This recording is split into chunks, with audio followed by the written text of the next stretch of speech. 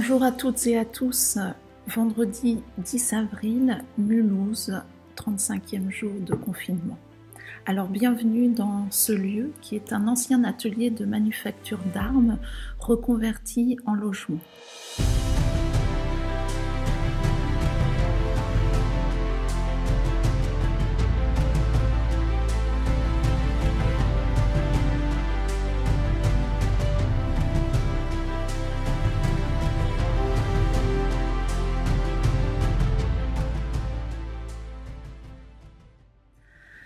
Peu d'histoire d'abord. Euh, ce patrimoine trouve son origine dans une histoire au long cours, celle de l'industrie textile avec la création en 1746 de la première manufacture de toiles peintes que l'on appelait des indiennes.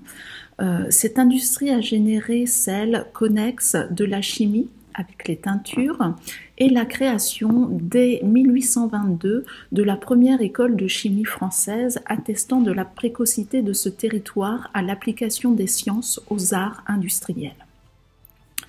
Mulhouse, c'est aussi bien évidemment l'histoire remarquable de la construction mécanique, avec notamment la SACM, la Société alsacienne de construction mécanique, qui donnera naissance à Alstom en 1928. Le patrimoine industriel mulhousien et celui de Belfort ont donc une histoire étroitement liée euh, avec pour origine la guerre franco-prussienne donc de 1870 qui va conduire à l'installation de nombreuses entreprises mulhousiennes à Belfort pour constituer notamment le parc d'activités technome que nous connaissons bien euh, aujourd'hui. Alors la ville de Mulhouse hérite euh, aujourd'hui d'une mémoire ouvrière, d'une culture entrepreneuriale et d'un patrimoine industriel particulièrement riche dont on va découvrir un exemple qui illustre la reconversion partielle des lieux d'industrie en lieux de vie.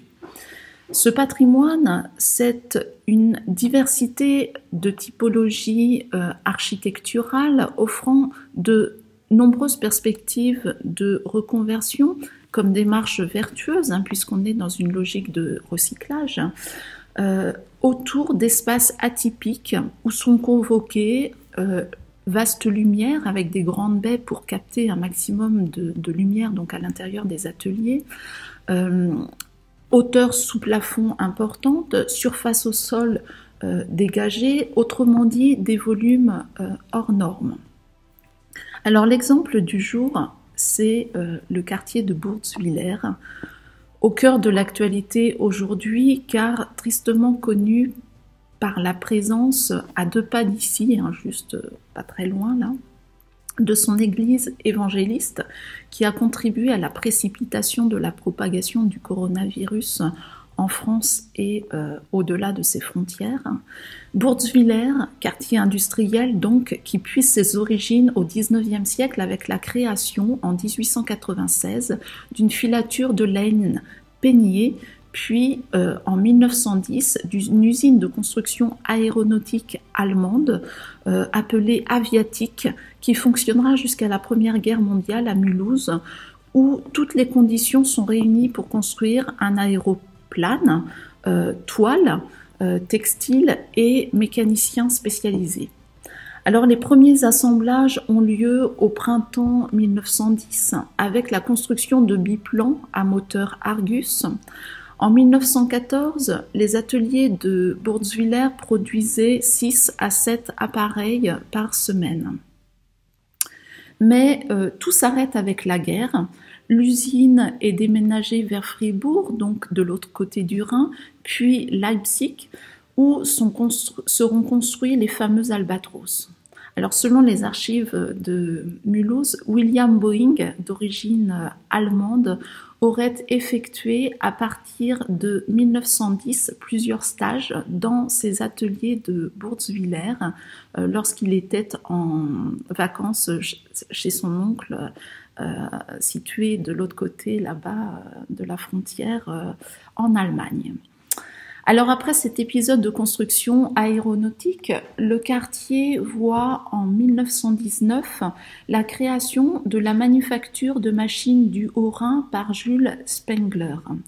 Il s'agit d'une manufacture d'armes et de mécanique de précision que l'on connaît bien sous le nom euh, la raison sociale Manurin, hein, qui va euh, être euh, le, nom de l'entreprise durant une grande partie de son activité. Alors cette manufacture est toujours en activité. En, en 2018, pardon, elle fut cédée au groupe de défense des Émirats arabes unis et prend la raison sociale Manufacture du Haut-Rhin.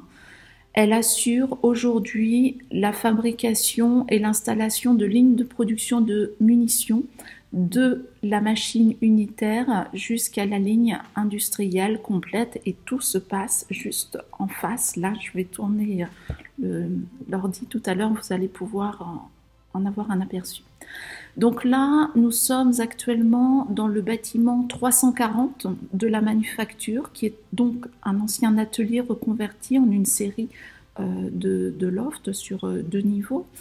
Cet atelier présente euh, une configuration architecturale similaire au bâtiment B de l'UTBM à Belfort, donc le bâtiment 14, ancien atelier de retordage de la filature Dolphus Mig et compagnie euh, d'origine mulhusienne et qui est allé s'installer à Belfort. Donc avec une structure euh, en poteau-poutre, je vais vous montrer, euh, structure en poteau-poutre en béton armé avec des façades en revanche extérieures qui sont en, en, briques, donc matériaux de construction extérieure en briques.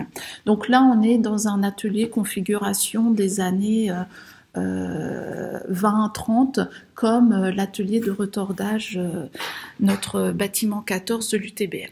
Donc en face, je vais vous, alors je vous montre un peu le, le, plafond. Voilà, on voit très bien là les, poteaux, les poteaux polygonaux et ces grandes baies avec l'usine juste en face, la partie active dont on voit, va voir j'ouvre la fenêtre, donc ce n'est pas le moment de laisser tomber l'ordinateur. Donc en face, c'est le bâtiment 332, euh, occupé aujourd'hui par les bureaux, la partie administrative. Vous avez également ici l'ancienne chaufferie. On devine parfaitement bien euh, une cheminée d'usine là qui a été tronquée. L'ancienne chaufferie et euh, un pont roulant. Donc voilà, je vous montre un petit peu. Je fais le tour. Voilà cette ancienne usine euh, Manurin, euh, enfin ancienne, qui est toujours euh, en activité. Donc voilà pour ce petit aperçu en direct de Mulhouse et de cet exemple de patrimoine industriel mulhousien. Voilà pour cette découverte. Donc je vous souhaite un très bon confinement, euh, un bon week-end de Pâques et euh, n'oubliez pas, restez chez vous. Au revoir.